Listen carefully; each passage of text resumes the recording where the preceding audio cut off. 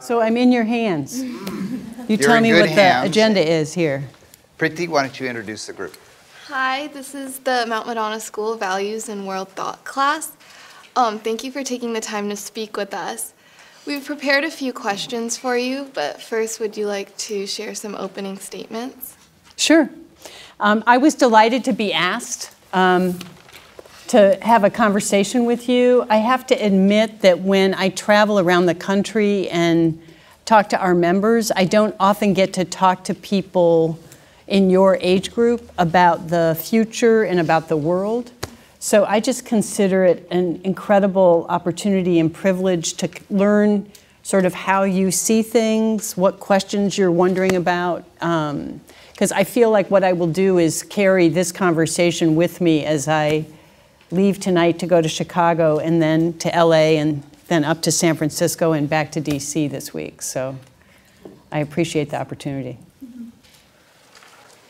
Hi, I'm Rami.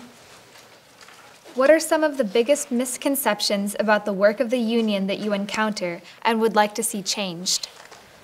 Fabulous question. We think that there has been a 40 year attack on unions that has been systematically um, drilled uh, since the Ronald Reagan took on the air traffic controllers. And so we think one of the biggest misconceptions is that unions only care about the people we represent and that all we think about is how to improve the lives of the 16 million Americans that currently have collective bargaining. And uh, what we are trying uh, to do uh, as SEIU, together in partnership with other unions, is uh, help make the case that what we want to do with the 2.1 million members of SEIU is use the power that we have together as an organization to speak on behalf of the 100 million Americans who are working full time but can't get ahead. And so I would argue that um, our purpose, which is to improve the lives of everybody in our nation and make sure that there's a future uh, for the next generation, um, is constantly attacked as only caring about how much money we make and how to expand our dues units. And so I would say the central problem of American labor right now is that we have not consistently made a case that we want um, to raise the wages and create good jobs for everybody in this country. Thank you. Sure. Um, hi, I'm Lena. You once said, All workers have value and every worker deserves respect. How do we, as a culture, begin to become more aware of the dignity of all labor and give it its due respect? And what do you think prevents us from doing that? I wish I could ask you all that question. um, let me, that first phrase, um, all work has value, every human being deserves respect, is not what I said. It is a reflection of 4,000 conversations that our union had with the best member leaders all across the country when we were retooling the vision statement for the union. And so it's our vision for a just society, which is that all work should have value and that every human being deserves respect. That's the first line. And I, the second part of the question was um, how, do we, how do we make that happen? How do we restore dignity at work? Yeah. I think the first thing we've been trying to do is shine a light on the problem by talking about fast food workers who are earning 725 an hour or 865 depending on where they live, working 40 hours a week and not being able to provide basic necessities, food, shelter, housing. Um, and then the second thing is to show that adjunct faculty who are part-time professors in higher ed are earning about the same amount annually as fast food workers earn. So if somebody who has a master's degree and a doctorate has pursued education, still can't work and make ends meet, the economic system in our country is broken.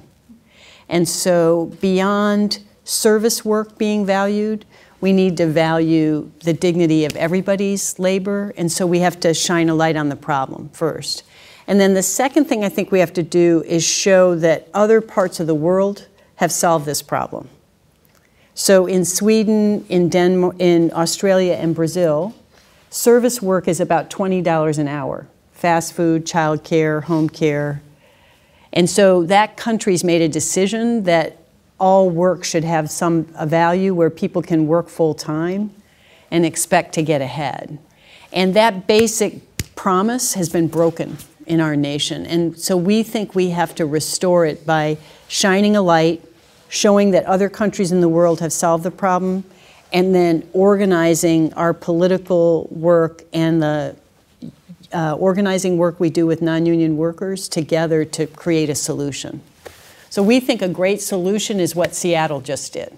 I don't know if you heard about it, but the people of Seattle made a decision to use the mayoral election to say that all work in the city of Seattle should be no less than $15 an hour. And they had a, they wanted to raise the minimum wage in Seattle. And I think the Seattle City Council is voting this week so that 100,000 people are going to have their wages almost double over the course of the next three to five years. And we're, everybody that does work in the city of Seattle is going to have a minimum of $15 an hour.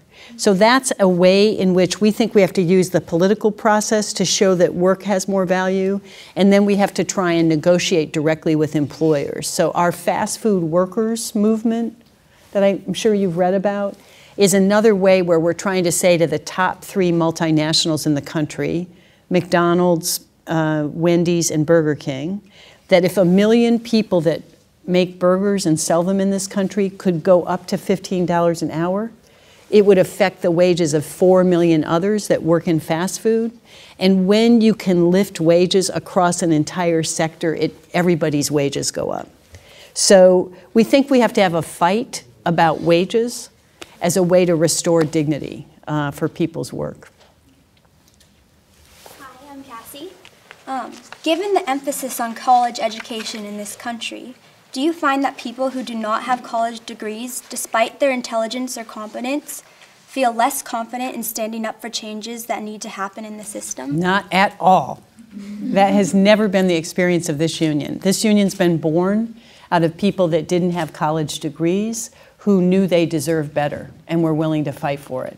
So our union was born in 1921 in Chicago by immigrant janitors who people ridiculed as nothing more than servants and scoffed at them about trying to form a union and expect better for themselves and their families. And the way that flat janitors were paid in 1920 is they got a free apartment in order to clean the building 24 7 and shovel coal into the furnace for heat in the building. And that was their job. And if they didn't get their jobs done, um, their wives and children helped them without, there was no other additional compensation. So they joined together and said they wanted a union. They fought for 10 years before any union would recognize them, and that's how our union was born. It was born because no other union at the time would accept them.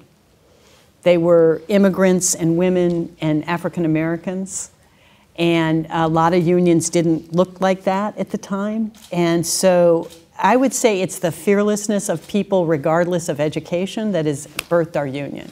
That happened again in hospitals. It was uh, laundry workers, African American laundry workers in New York and in uh, San Francisco, Filipinos in Minneapolis, uh, who had the courage to say um, women were being paid $2 an hour less than the men in the laundry. The women got mad one day when the port truck drivers got their wages increased and they walked off the job and said, you know, we may be fired, but we'll probably find another bad job somewhere else in the city. Um, and then I would say our college educated members have also had similar moments where they just decided enough is enough. And that's what we think is happening all around this country with adjunct faculty. We just had six universities here in DC vote to form a union Howard, American, uh, Maryland Institute of Art in Baltimore, uh, we're organizing right now at Georgetown. So that's catching fire where people think, you know, I've worked all this time, I'm in a huge amount of debt having gone through college. Um, and I probably need to join with my other faculty to bargain with the university to lift everybody's wages. And that's what's happening now. So there's nothing about the degree of education in our experience that is linked to people's decision to join together with their coworkers and try and improve their lives and the lives of their families and communities ultimately. Did that answer your question? Okay. In an article about SEIU, you said, Leadership in this moment of crisis for working people will transform our nation's priorities and get our country back to work in good union jobs that can support our families and nourish the dreams of the next generation. And I'm curious to know what you think characterizes the kind of leadership we will need to do that. Mm. Do you believe that statement that I said? Yes. Oh, good, good. I'm, as you're reading it back to me, I was thinking, now I wonder how many people listening to me at that moment actually believe that. Because, you know, our country is divided on this vision, I would say, deeply divided. And it's part of what um, I think is the challenge of the moment. So, one part of leadership, I think, is understanding that most people don't agree with that statement and that my job as a leader is to understand what what do you disagree with me about and how can I help you understand why I think what I think and see if you're willing to come with me to at least try and create a um, shared understanding of the current moment. And the way we talk about it in our union right now to help people understand what I'm saying is the immigrant rights movement is at a, a, a sort of key moment where they've spent the last 15 years having a debate in this country and organizing and taking arrests and marching and fasting and a whole bunch of other kinds of organizing to have a debate about whether this nation is ready to accept that anybody who has come deserves a path to citizen, full citizenship in our economy and democracy. Well, it took 15 years to create the political wind where even now the most conservative members of the House of, in, here in DC and the Senate actually believe that we should create a path to citizenship. Likewise, with the LGBT movement around the question of the freedom to love and marriage equality, when I came out as a lesbian in 1978, 79, most of my uh, friends did not jump for joy on that question. You know, people were being abused and beaten. And there's been a path, right, of people courageously deciding to come out to themselves, their family, that has changed the nation's thinking about no matter who you love, you ought to be able to get married and have the full rights and citizenship. We don't believe, in terms of economic justice, that we have yet, we are on the beginning of a path where we think we have to shift people's thinking about the value of work and the dignity of all people because we have had, we think, a corporate and right wing agenda in this country um, damp down people's expectations of what we deserve um, as a people. And so um, I think leadership in this moment requires both being courageous in, in the individual conversation, but also having a long view mm-hmm. about we're, it's going to take us some time to shift things. So, what I try and do is point out to people that are incredibly discouraged about how hard we're working and yet wages aren't rising. I say, look what Seattle just did. Look what the adjunct faculty, American University adjunct faculty just doubled what they earn. It used to be 1700 for a class in a semester, they're now going to earn 3500 for a class. It's not enough, but it's the, it's the right, we're sort of chipping away at people's understanding about what we deserve. And um, so that's the second thing I would say is taking the long view. And the third thing is um, uh, valuing building relationships is another thing as a leader that's really important that you have to, um, like, SEIU, uh, when I took office, was not well liked by the rest of the labor movement because we didn't build bridges. And we thought we were ahead of the pack and people should follow us. And I had to go and do one on ones with every president in the labor movement and say, Uh, we all have a lot to learn from each other. Working people are facing the greatest crisis we ever have. What can we do together that will change it? Um, so I think that the, another thing that's really important about leadership in this moment is being willing to build bridges. Um, because no one of us can tackle the enormity of this problem alone. And um, that's really important. And then the other thing I think that I'm learning as president of SEIU is that it's really important for us to lead on all the ways in which we are divided from each other.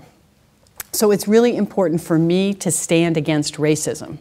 Because racism isn't just an individual behavior, racism is an economic structure that was set up to keep uh, wages down. And I have to connect the interests of white workers, Latino workers, African American workers, and Asian Pacific Islander workers together. And then the other thing I have to stand against is sexism, because it's another way in which wages are kept down and we are separated from each other. And um, people assume that I will do that because I'm a woman, but there's a lot of women leaders that don't call out sexism, uh, and I think we need to. Because again, it's not just an individual behavior, it's a structure that was created to uh, keep people separated from each other and to not allow us to create a force for change uh, in this nation.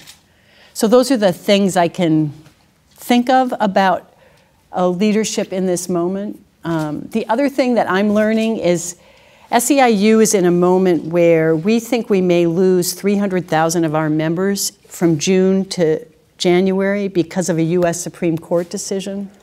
And so the other thing in this moment is being able to take um, a hit and be able to press forward. And so we call it both and, that we have to lead in this moment both with uh, absorbing attacks but then standing up and pushing back and fighting forward is how we talk about it.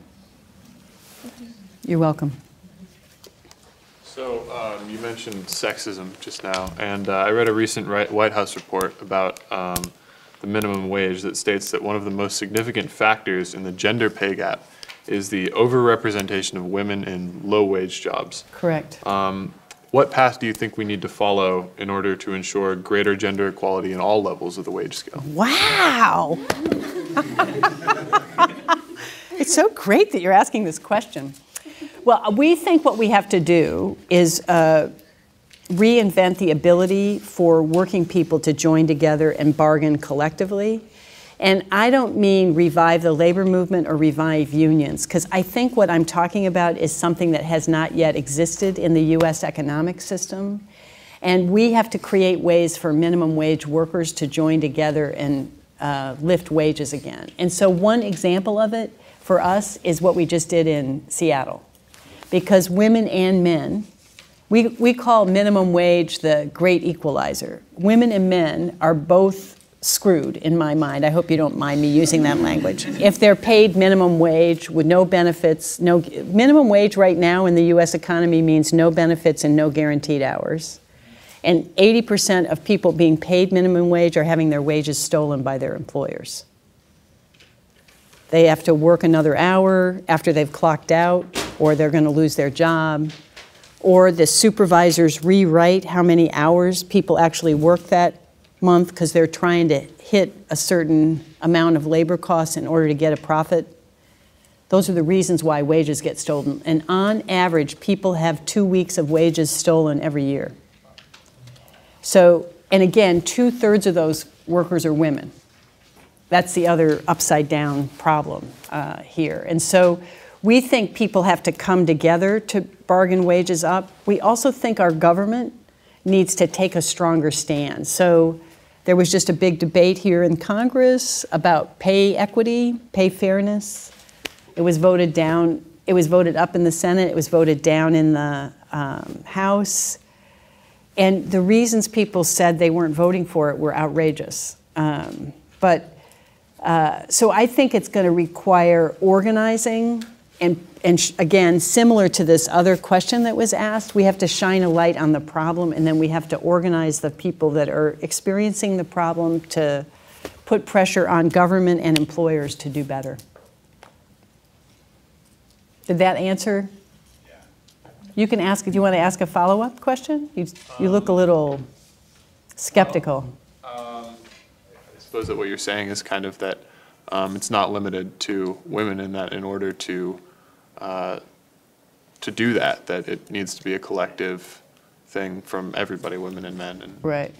So we collectively bargain for registered nurses. It's 80% women that are registered nurses, although men are entering because of the military and veterans needing to get employment. And the military is the best trainer of nurses right now because we have shut down a lot of nursing schools because of education cuts at the federal and state level. So oddly enough, the U.S. military is training more registered nurses than any other part of the government at this moment, which is another outrage, by the way, because that's like upside down as well. But um, because of union contracts, women are paid the same as men in registered nursing, as an example. Because teachers are unionized, women and men are paid the same. But these female dominated jobs, registered nurses and teachers, are not paid as much as engineers, which is male dominated. So there's also a systemic problem about how women and men see choices at every level that we have to correct, which is much more fundamental. I think there is an issue you're raising that because of my union's focus on minimum wage work, uh, we aren't, there is a sort of comprehensive attack that we need to make about the gender pay gap. But I would argue that because the institutions that fight for that are getting weakened by the right wing, like we lost a million union members just last year. The 30% of the people in this country used to be in unions in the 70s. We now have 11% in the public sector, 6% in the private sector. There's been a sort of crushing of organization, and that organization is the thing that lifts wages and closes the gap. So I think the biggest lever on gender pay is to increase the number of people that have an organized voice in the economy. Hi, my name is Lexi, and this is a bit of a complicated question, so if you need clarification, feel free to Great. ask. Um, How funny. I'll try my best. In our Values and World Thought class, we read an interview with Ernesto Cortés in which he discussed how unions serve as a type of mediating institution. We understand the mediating institution to be a site of civic education where people come together to discuss and take action on matters of civic importance. This is an important form of community building.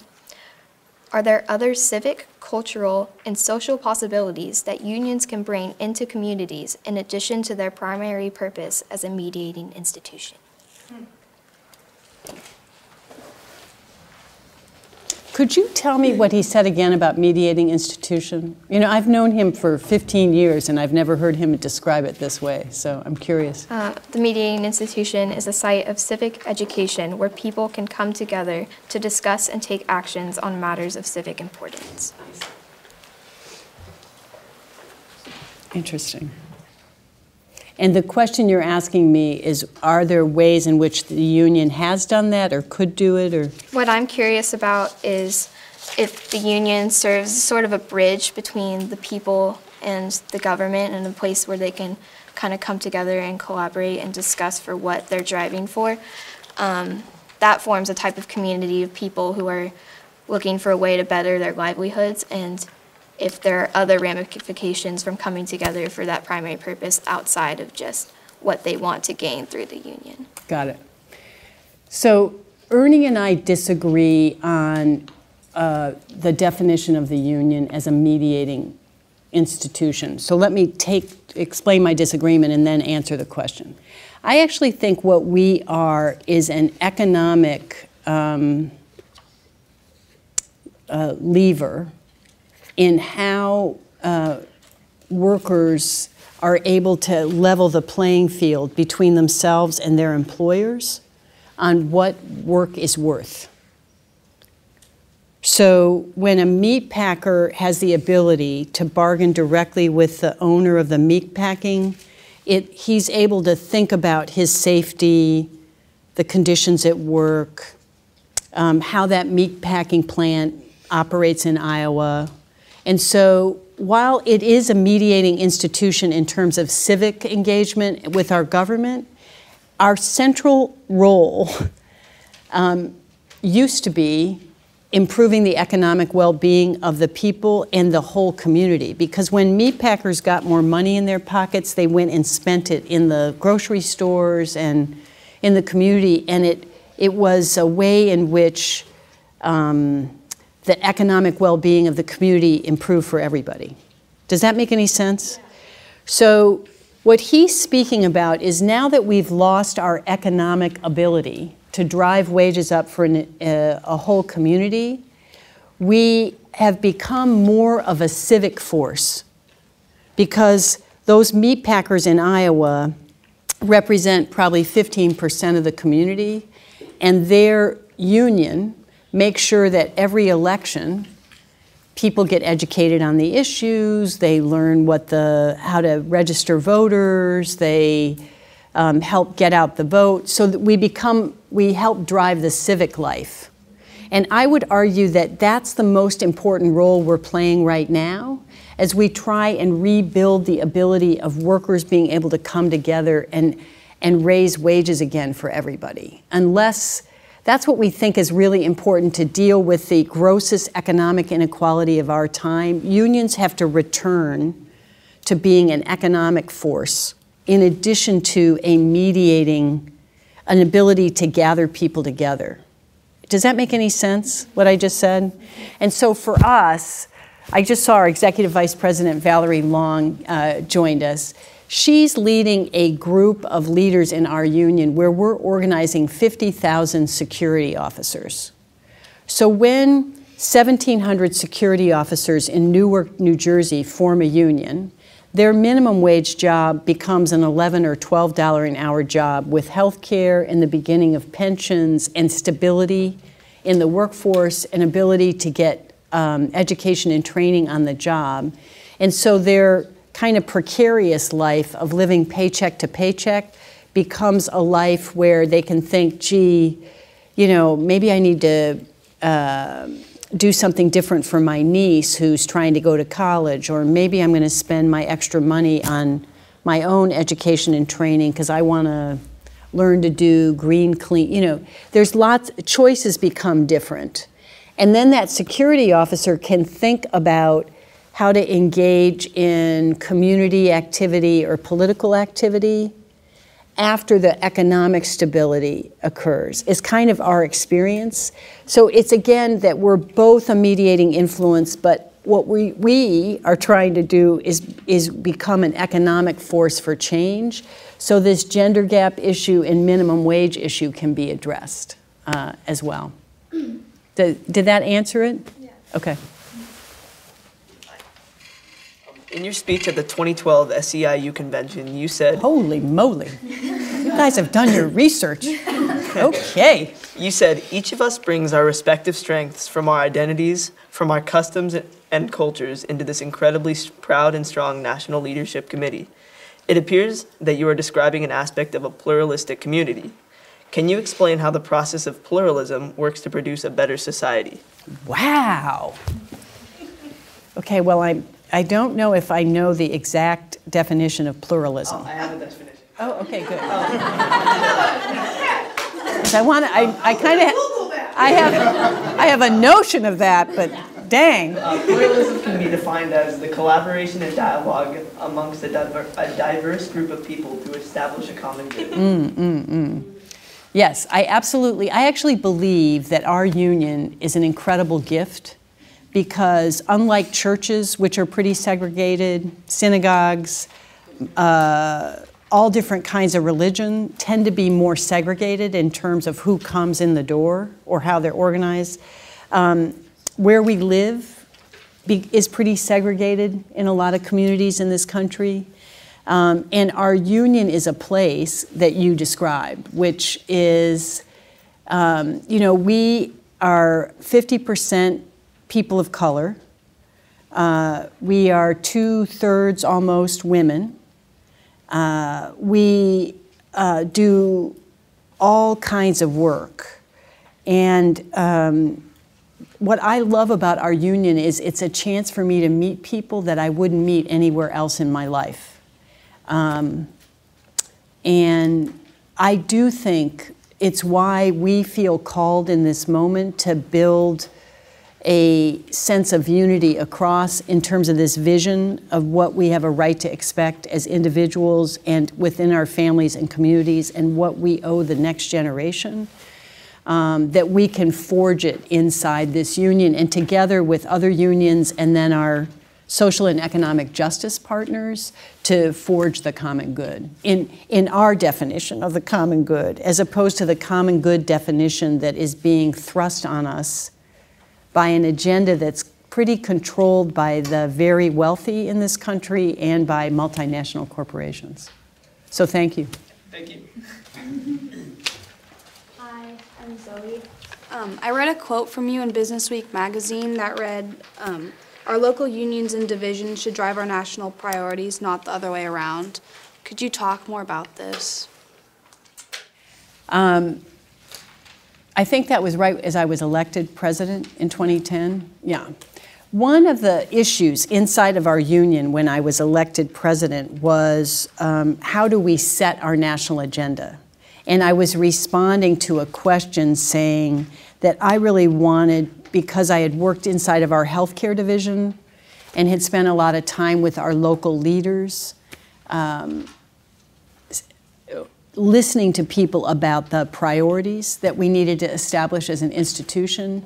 And so I wanted to um, strengthen the ability of our members and local leaders to set the national priorities um, at, at that time in 2010. And so I was speaking about sort of economics, healthcare. Our public division was really concerned about retirement at the time. And they wanted to see that in our national agenda. Our members were incredibly concerned about education, you know, access to good quality public education in their communities and have their children have the ability to get higher education, whether it's community college or four year college. And so um, that's what I was uh, speaking to was that deep uh, yearning that our members had to see their hopes and dreams kind of reflected in what the union was working on nationally. Hi. You once said, My faith taught me we are call- all called to think about the common good. How do you think growing up in a religious household has shaped your career? Um, it's funny, I called my mother uh, last night, and she's not a Facebooker, an emailer, or a texter. So you have to communicate with her the old fashioned way, which was by telephone or. Um, and I said to her, I want you to know how much I appreciate um, the three things that I believe you taught me, which I have to tell you, it was a combination of growing up in a family of 10 and my religion. But I, it's funny, I wouldn't, my mother is religious, but I wouldn't call our family a religious household per se. Um, but I know that her belief uh, was communicated through how she taught us. And I went to Catholic school, I attended Catholic Mass regularly.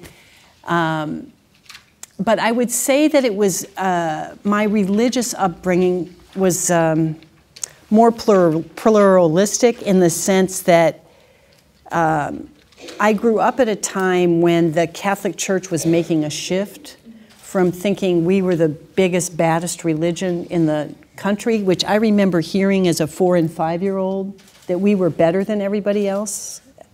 And my church went through a shift that said, you know, we are part of a larger faith community that includes people of all religions and faiths. And um, we need to embrace that um, we're no better than anybody else, but that we are all people of faith. And my mom taught me that. And um, I would say that the biggest thing her faith taught me is that things that seem impossible can be made possible if you get a group do, to do it. And I had that lived experience as a uh, third oldest in a family of 10. Uh, and it could be just simple things like getting three grocery carts to the checkout line because she had to go run and get my uh, younger brother at school. And I'd be like freaked out thinking, how am I going to get these? And then I just got my little brothers and sisters to help me. And the cashier taught me how to write the checkout. Thank God it was the right amount, you know. and so things that seemed impossible to me became possible. Um, because she had faith I could do it, and because I had faith that we could work together to get it done. Which, frankly, for me, was not so much about growing up Catholic as it was about uh, the basic goodness of all people and having that reinforced over and over again. Yeah. Hi, I'm Martin. As the co founder of SEIU's Lavender Caucus, which works to improve rights for the LGBTQ community in the workplace, what would you say is the main challenge facing this group? And what needs to be understood when confronting these issues? So, do you want to know the main challenge now or when it was founded? I think now is more interesting as it's relevant. It's very different today than it was when we uh, created it. Um, I would say today that um, the LGBTQ members in our union are really concerned with how we get the LGBT community that's working on marriage equality and non discrimination in employment to think about how to work with us on a sort of basic economic uh, justice agenda. And so our members are deeply concerned about forging an alliance that gets the LGBT community to think about the 60% of the LGBT community that's living in poverty. And we've just done an analysis with um, LGBT partners here at the national level where we looked at economic data, and LGBT families are more likely to have uh, precarious work, you know, uh, than a lot of other families because of fear of discrimination in the workplace. You know, 27 states doesn't protect uh, LGBT workers from being fired for simply being LGBT. So um, it's the biggest challenge, I would say, is how do we forge an alliance on both the uh, equality and economic justice issues together? Thank you. You're welcome. When asked by the Daily Beast if it is reasonable to expect to know the sexual orientation of someone serving in public office, you said, I think we should allow people to individually decide that question and not speculate and call them out. What do you think we as a society can do to transcend the preoccupation with this topic and begin to recognize people based primarily on competence and character? Um, I don't know if people are know the person I think of when I. Uh, it's a kind of a simple answer in my mind is come out. Mm-hmm. I think the biggest way to transcend it is to make it um, less of a guessing game. And my experience in my own life is that uh, the sea change has occurred in the hearts and minds of this country is because sons and daughters, nieces, nephews, aunts, grandmothers, mothers have all made a decision to come out.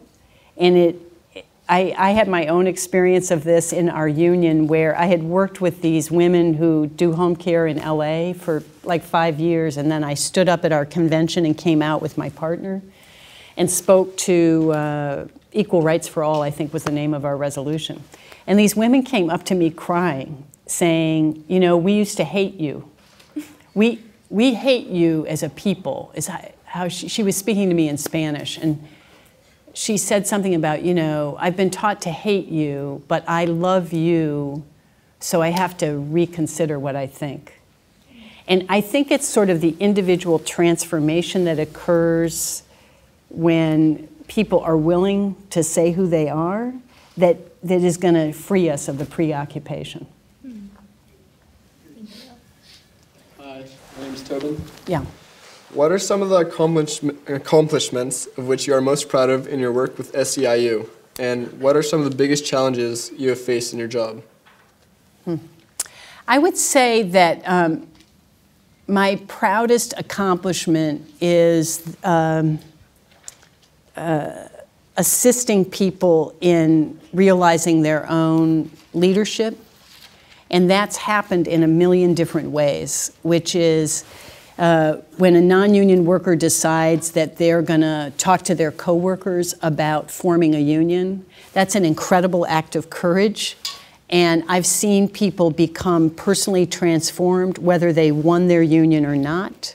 And um, I would say that that's my deepest source of pride is that sense of inspiration I have about people being willing to stick their necks out um, and try and improve things for themselves, but also act in a belief about the common good, essentially.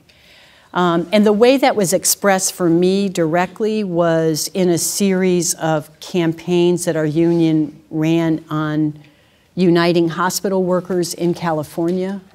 And over the course of 10 years, we were able to organize 60,000 hospital workers in California, and we raised wages 18%. People got fully provided family health care for the first time in their lives and started a pension. And it created a sea change even with the non union hospital uh, employers who raised wages 6%, provided employee health care coverage for the first time because the, the non union employers were like, whoa, we better like change things for people or everybody's going to go to work at the union hospitals, which is exactly the dynamic you want to create when people join together. Um, so that's a huge um, source of pride. I would say another source of pride is being in a union that made the decision our members made on this vision for a just society, that our union wasn't going to be about our members, but about the whole, and uh, fight for the respect of every human being and get work to be valued again is a huge source of pride from our 2012 convention and that we said that economic inequality was the number one problem we were going to tackle in this country, because I think that's a source of a lot of other problems. So our convention agenda is a source of personal pride um, for me. And then what was the second part? Besi- It was pride and uh, challenges. challenges. Um, you've asked a lot about them, a lot of the challenges, I would say. I'd say um, we are up against some of the best financed, well funded opposition in my entire generation as a leader and an organizer. And I'm deeply concerned about our ability to stay focused because I have a deep belief that when people come together, there's no force too great that we can't overcome. And um, I would say a challenge is in the darkest of times holding out that light or hope that people can see so they will stay um, organizing, um, educating, uh, leading in a way that uh, faces that opposition head on. I'd say the, the other challenge we face is for the first time in SEIU's 90 year history, under the leadership of its first woman, we are going to lose members. So the objective reality of this organization is hmm, that girl takes over and things go to shit. so there could be a, um, if, if I wasn't leading in a way that people believed in, there could be a internal critique that the objective measurement is that the union is not doing as well because we're losing members. Does that make sense? And so I would say a challenge is helping people understand the forces that are creating that loss in our members and then convincing, including people in creating a plan which we call the path to power and helping people believe that that path is going to lead us not just to replacing those members but creating the next form of collective bargaining and organization that lifts people out of poverty again. And so uh, I would say that's a big challenge, holding people's sense of hope and optimism that we can create something new as things get objectively worse. Do you see it? Like that is a very, uh, like I've been called crazy. Like, just let me give you a couple of examples of when I project that the head of another union said to me, You know, I thought you were crazy a year ago. I thought you should take some aspirin and lie down and take a nap because you're way too excited about how bad things are and what we need to do differently. And then I kind of watched you, and I think you might be onto something. So I think part of the challenge is being wi- willing to say the unimaginable and hold on to because two years ago people said $15 an hour? Are you kidding? These people just flip burgers. They aren't worth $15 an hour. People said that to us and people said that about immigrant janitors when our union was born 90 years ago but they prevailed and we believe fast food workers will prevail and janitor you know so i would say that another challenge is being bold and confident in the face of unrelenting attack on work and working people and galvanizing people's hope to believe that we can chart a new path together. You're welcome. So, Mary Kay, I want to take a, a brief moment here because we've reached the end of our first part of the time with you. Okay. I want to, uh, if you guys, to, to feedback a little bit what you heard that struck you Oh, so far. That'd be great. Okay. So um, let's just see. Who's, who's got something to say? Okay. Um, I really liked what you said um, that things that seem impossible become possible when you get a group together. And I just thought that was very relevant. Like, as a group, we're able to come and see you and like talk to all these amazing people. And I would have never gotten this chance if I was just trying to do this alone. on your own, yeah. So I just So you have that as a lived experience. Yeah. Yeah, that's great.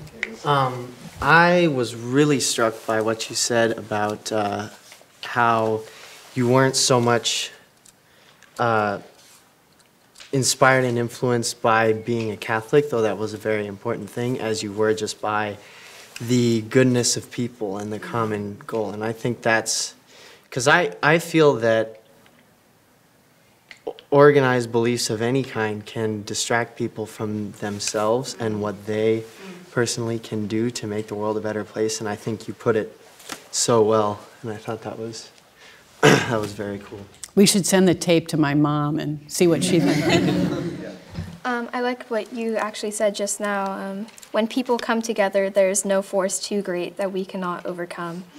I think it's really important to remember that, and as we grow increasingly isolated in our society with technology and everything, that really the greatest power in this world is just human connection, and it's a good reminder. So, thank you. Who's next? Zoe. Uh, It's sort of like um, what Lena and Lexi said. I really liked your story about when you came out and the women coming up to you and, um, you know, saying that, that, that about how you were able to sort of shift their viewpoint just through connecting with them. And I think that They that's. knew somebody. Yeah, I think They that, that somebody. that's something that can really, you know, we can use that in sort of all aspects of life about how, you know, no issue really is too big if you just sort of start at the bottom and work your way up and just doing the little things. I just thought it, wa- it was really relevant just to, you know, take a step and with, and by taking a step outside of maybe your com- comfort zone and maybe you can produce something great and really change, change the world. Um, I'm always interested to hear what people have to say about what makes a good leader. Um, I think that what you were saying about leadership, uh, you know, the ability to work with people that you disagree with and the ability to have a long view, um, I think that that is very true, and I think that's hard to hard to really do. But I think that I, I yeah, I always think it's interesting to hear what people have to say about that. Yeah, I was also struck by what you said about being a leader and how like you have to take hits but still have like the drive to push forward and not let that affect you and just keep a strong face and keep going. Again, you were talking about leadership and how it was not about just taking power and saying this is what we're going to do and I don't care what anyone else thinks. It's about That would be so much fun some days. I have to tell I'm you. Sure. Um, but it's you said it was about communication and being able to ask what people disagree with you about and like getting them to understand why you think that and understanding why they disagree with you. And it's all about communication. Well, from my perspective, um, this is an education. This is education Yeah. where we understand something that is really in the heart and soul of our Yeah. national community that in many ways to the privileged is invisible. Because the megaphones are, are in other people's hands in Right. general. Right. And uh, th- so we have some systemic issues that need to be addressed, and they need to be addressed, in a sense, by this group Yep. and their peers, the Yeah. larger peer group, because that's in the ladder of things.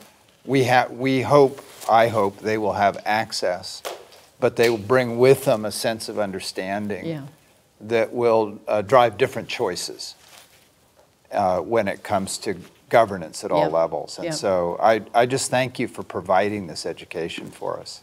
This has really been wonderful. You can thank our um, 2.1 million members that make it possible. You know?